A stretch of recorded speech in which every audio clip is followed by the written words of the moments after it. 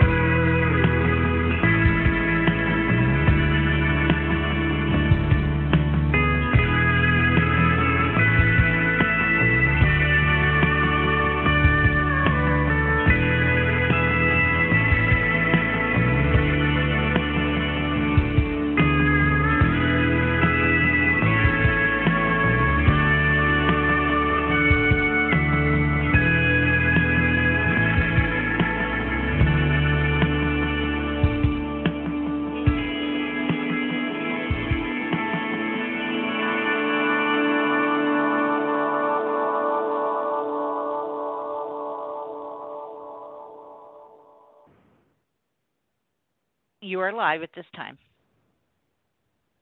Thank you. Good morning, everyone. Congratulations, of course, to the NASA and SpaceX teams on today's return of Crew 6.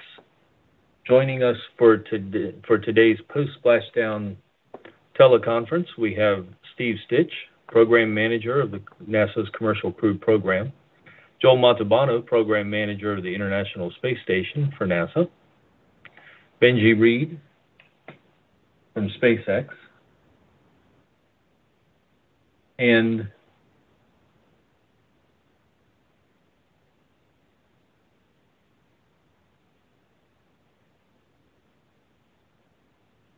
Adnan Alrais, Assistant Director, General Space Operations and Exploration Sector Mission Manager for the United, Emir- United Arab Emirates Astronaut Program.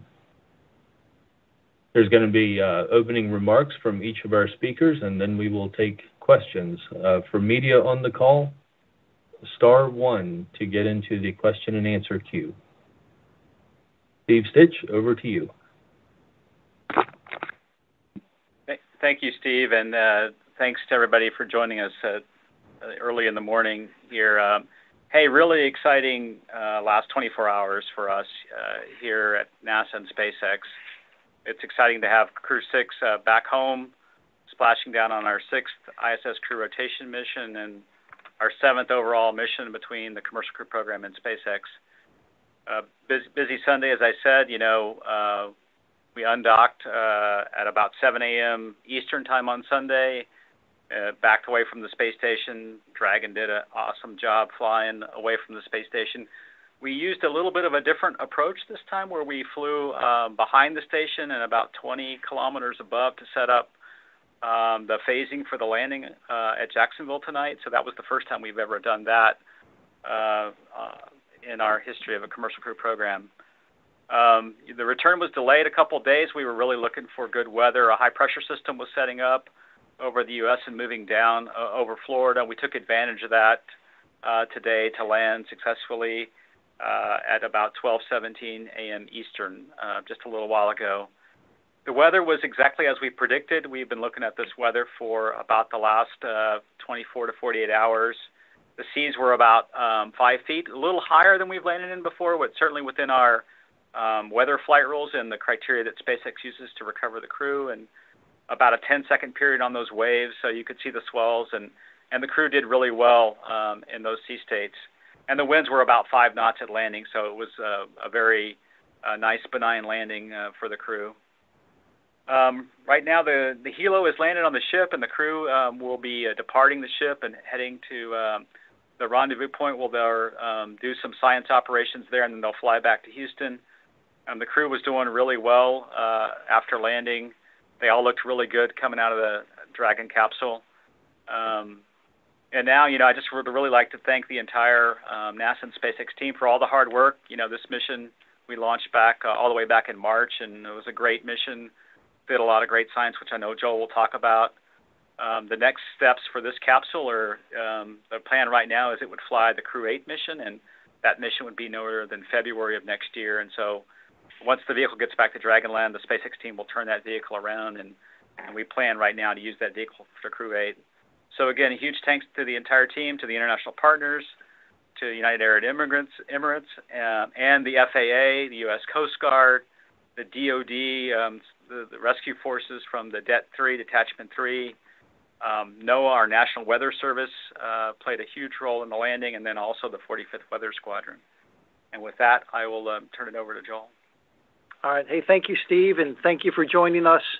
And happy Labor Day to everyone. Uh, outstanding landing, as Steve said. Uh, this crew spent 184 days on board the International Space Station. So, adding the day up and the day down, 186 days in space for our crew. Uh, they did just over 3,000, or just under 3,000 orbits of the Earth. And this crew saw seven visiting vehicles come and go to the International Space Station and performed uh, just under 250 experiments and utilization research and technology demonstration. Uh, looking forward, as I'm sure you've heard me talk about, we have a Soyuz launch coming up on September 15th and a Soyuz landing on September 27th. So, with that, uh, congratulations to my NASA colleagues, SpaceX, and all our international partners for an outstanding mission. With that, I'll hand it over to Benji out at SpaceX. Thank you, Joel. Um, just uh, what an awesome night, um, and it's such an honor and so cool to get to be part of this whole program. Um, we uh, had a great return, as uh, Steve and Joel already said, um, and uh, a huge welcome back to uh, to the Crew Six crew. Um, uh, this mission has completed our seventh NASA human spaceflight mission to the International Space Station. Um, it was a nominal return. Dragon is healthy. The parachutes performed as expected, and you know, our recovery teams uh, did great. Um, Dragon did great, and the crew um, appeared to do awesome. Um, and uh, we're getting ready to bring Dragon back to our refurbishment facility uh, at Cape Canaveral, Florida. Um, you know, it's it's of note, I think, probably that after just a little bit after splashdown, um, the SpaceX teams uh, also successfully launched our 62nd mission of the year um, uh, from uh, LC-39A in Florida. Um, it's been quite a busy weekend um, and it's a it's a big deal for us. Um, but uh, you know, as always, our missions to uh, to the space station, our missions for Ma- Na- our missions for NASA, um, are our top priority. Um, this means we've flown now 43 times to the ISS for both cargo and crew. We've flown 21 reflown Dragons. We've done 12 human spaceflight missions in total, and that uh, means we've sent uh, 42 humans to space so far. And um, tonight's return was our 10th human spaceflight return, and that uh, actually ties the number of uh, human spaceflight returns uh, from Project Gemini. So, uh, huge congratulations to um, the SpaceX teams and, of course, to the NASA teams. Um, the, the, joint effort is amazing. And um, for me, especially, this is a, a, a really important return, uh, has an extra special meaning to me. Um, you know, we started this uh, the program to uh, to be able to help NASA get their astronauts to uh, the station and bring them home um, a number of years ago. And uh, this marks the, uh, the the final mission that was originally envisioned in the original contract. Um, and uh, what an honor to have been able to be part of this entire um, you know cycle so far. And uh, and and again, a great honor from NASA. Um, now that we're continuing with additional missions beyond this original six operational missions. Um, and uh, again, huge congratulations to the joint teams that are making that happen and continuing to do so. Um, our thank yous, as always, to uh, to NASA, to Roscosmos, um, to the uh, to UAE, um, and of course to the uh, 45th wing of the Space Force um, for your trust, your partnership, and your close collaboration for this mission. And um, and a really special thank you to all the families um, and friends, um, and um, you know of all of the people who've worked both at NASA and at SpaceX, all of these missions and all of these years. Um, it's a lot of sacrifice that goes into this, both for the people working um, and of course for their families, and and it means a lot um, to be able to do this and do this for the nation, for the world, for all of our international partners. And with that, I'd like to hand it over to uh, Adnan Alrais um, with UAE.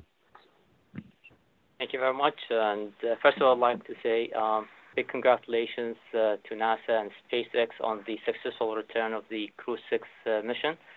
Uh, it has been a really smooth uh, uh, return. And also congratulations to the crew members for completing uh, their mission successfully. this mission has been very fabulous, fabulous mission for the UAE. UAE astronaut Sultan Neyadi participating in the longest duration mission that an Arab astronaut participated in for six months duration, conducting a lot of science and experiments uh, in cooperation with NASA and ISS uh, partners. We had uh, many education outreach activities, live PO events that we've reached hundreds and thousands of students and different parts of the country as well as the region. It has really great impact not only in the UAE but also our region in order to focus more on the STEM education and support growing the space sector in our countries. again, I would like to thank NASA. We're very grateful for this opportunity to be part of the this expedition, being part of the human spaceflight program. Uh, it's an important uh, milestone uh, for the Human Spaceflight Program, and we're looking forward to continuing and expanding this cooperation with future missions. Thank you. Thank you, sir. Uh, for media, again, star one to uh, get into the queue if you have a question. A quick um, informational update that the crew has begun loading aboard the uh, helicopter aboard the recovery vessel. A little update there. First, we have uh, Stephen Clark from Ars Technica. Go ahead, Stephen. Thanks for taking my question. Um, I think mine's probably for Benji. Uh, are you still planning up to 15 flights per uh, Crew Dragon spacecraft uh, as, as, you get into flying these capsules more and more? Are you learning anything about how they need to be refurbished that could refine that number 15 up or down? And uh, also, any update on the on the new Crew Dragon that's uh, uh, under construction? Where is that right now in assembly and test? And do you have a mission uh, on the horizon assigned for that to debut? Thanks. Yeah, great. Thanks for the question. Um, that new capsule is coming along well. Um, uh, you know, we'll see exactly uh, how the timing works out to see if that uh, w- which mission that'll be uh, assigned to. Um, my sense is that um, if things move along their way they're doing, it'll be it'll be pretty soon, the next uh, couple flights or so. We'll see, um, but not a specific mission tag to yet. Um, and then, oh, your question about uh, reuse. So uh, yeah, 15 flight reuse is our is our target. Um, obviously, we need to absolutely make sure that that's safe um, and uh, and understand um, all of what we need to do. You know, in addition to the refurbishment that we already do to get to five flight reuse. Um, but uh, we definitely want to try to get up to 15 flight reuse. All of the data so far continues to indicate that that's possible. Um, and um, and it, it, you know, critically, we're working with our NASA partners to to ensure that this makes sense. Um, you know, with them as well, and that we can certify the vehicles to do that. Um, I would expect a certain amount of you know additional refurbishment um, that has to be done, and we're uh, you know moving forward as we investigate that. But I I'm, I'm very optimistic uh, on getting up to 15. Thank you, Benji. Next is Bill Harwood, CBS News. Go ahead, Bill. Hey, thanks, Steve. Uh, two quick ones from me. One for uh, Steve, uh, and I might have missed this earlier. If I did, I apologize. But um, is the crew being flown from from Jacksonville back to Houston, or from the Cape back to Houston? And do you know when when Sultan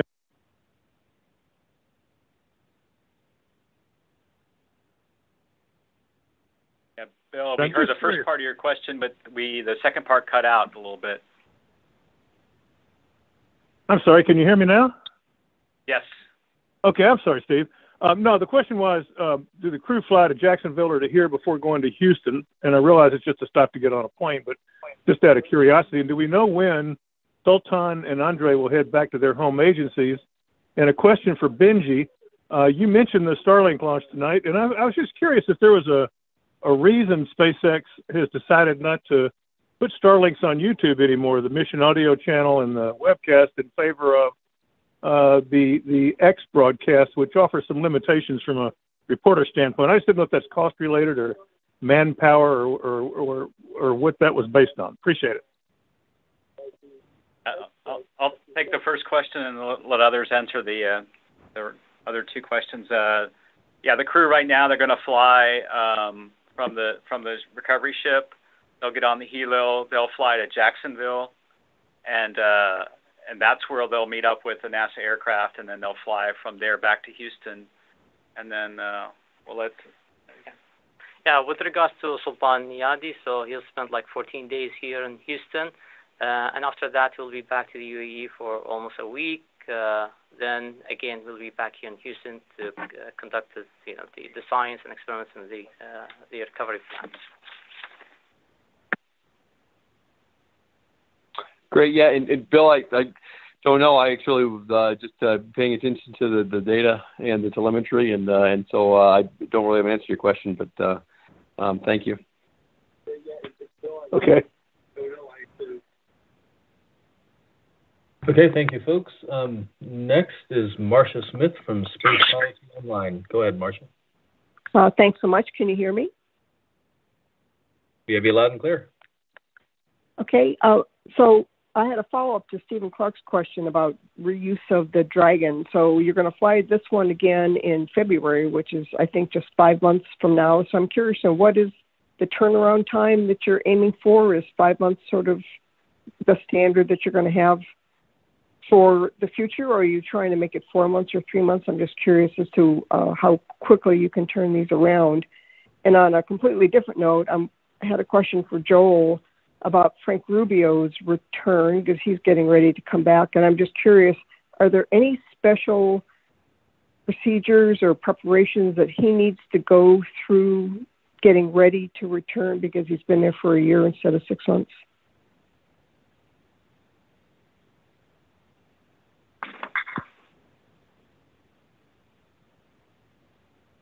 Uh, I'll, I'll take the first question, see if Benji has anything to add. Um, yeah, let's see. For this particular uh, uh, Crew Dragon Endeavour, uh, Crew 8 will be the fifth flight of that vehicle, and we've already certified the vehicles for five reuses, and so we'll go through that process.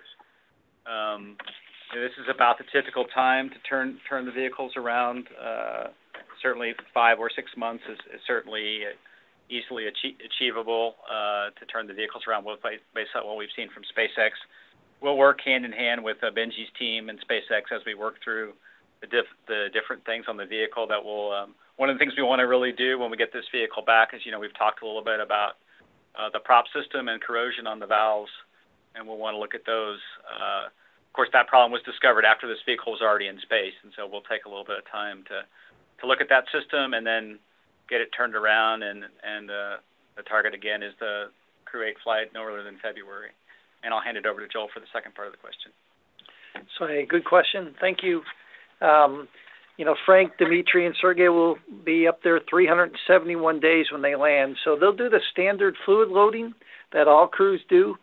Um, what really drives their their um, their ability to adapt is the exercise that they're doing.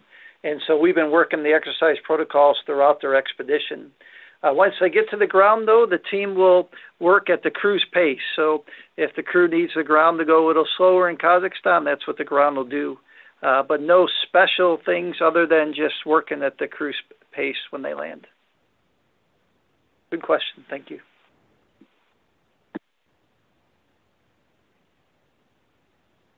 Thank you, folks. Um, next, we have Will Robinson Smith of Spaceflight Now. Go ahead, Will. Yes. Hi. Thanks for taking our questions this evening. Um, I guess a question on performance for this particular Dragon. Um, you know, in the pre-return conversations, we one of the items that was being launched in addition to the valves with the parachutes. So I was wondering if uh, either Steve or, or Benji could comment on the performance of the chutes tonight, and if that was pretty much in line with what you were hoping to see. Thanks. Yeah, sure. I can jump in, and then Steve can add to it. Uh, it you know, chutes look really nominal, look great, really beautiful. Um, you know, the uh, velocities of you know during deploy, drogues and mains, and and then uh, overall the deploy. Um, we're not tracking any any anomalies or anything that looks out of character. Obviously, we'll look at the data very closely. Um, you know, the the telemetry data and the recorded data. We'll uh, we'll look at the video, um, all the various videos closely, and make sure. But uh, everything was great so far. And I don't have much to add, Benji. I mean, both the drogues look like they deployed nominally. You know, it's a little hard to see in the IR imagery. We'll go review all that data. Um, the mains deployed uh, just fine. They all seem to inflate uh, nominally about at the same time. And as Benji said, the, the, the descent rates were, were nominal right down the middle. We'll do what we always do. Um, SpaceX will recover those chutes um, out of the water, get them back on the ship. Uh, we'll take them back. They'll go back to the vendors. They'll get inspected by the joint SpaceX and NASA teams, and we'll look um, at the chutes and then we'll also look at all the imagery in much much detail and uh, make sure that we and that's what we continue to do every flight. We continue to learn uh, step by step on each one of these flights, and uh, but in real time everything looked very nominal.